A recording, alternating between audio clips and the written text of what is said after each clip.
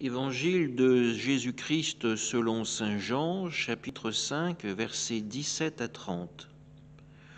En ce temps-là, après avoir guéri le paralysé un jour de sabbat, Jésus déclara aux Juifs, Mon Père est toujours à l'œuvre, et moi aussi je suis à l'œuvre.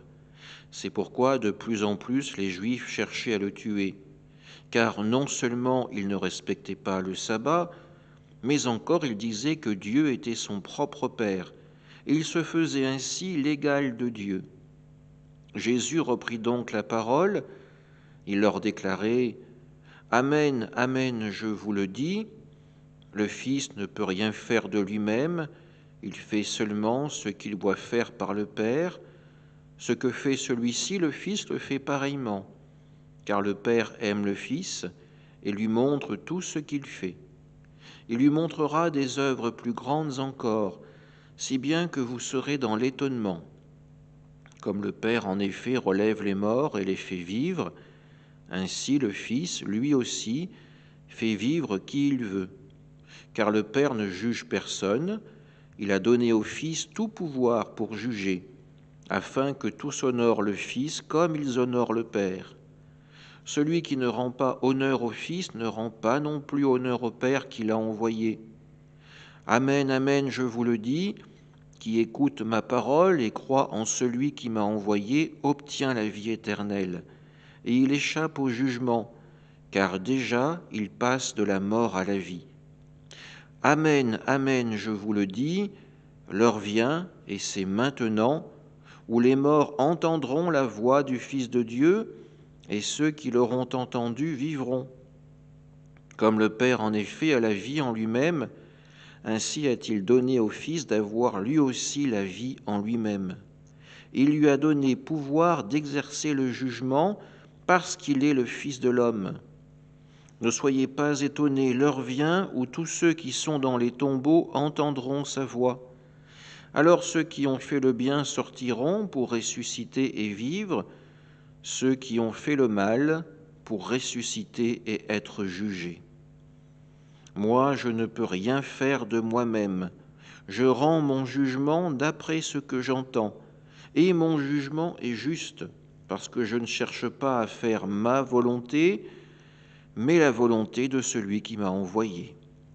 Acclamons la parole de Dieu. Jésus poursuit cette discussion entamée hier avec les scribes et les pharisiens. Ceux-ci lui reprochaient d'avoir fait une guérison le jour du sabbat, et pire encore, de dire que Dieu est son propre Père, se faisant ainsi l'égal de Dieu. Tout le long discours qui va suivre, donné par Jésus, vise à nous faire comprendre une chose essentielle ce que Jésus fait, ce n'est pas se mettre en avant pour lui-même.